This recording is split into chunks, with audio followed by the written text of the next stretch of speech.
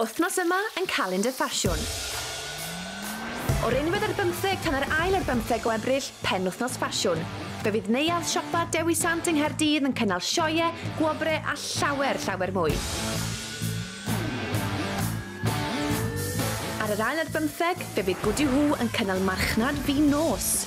Cyfle i siopa dan y ser gyda nifer o sondunau yn gwerthu cynnyrch lleol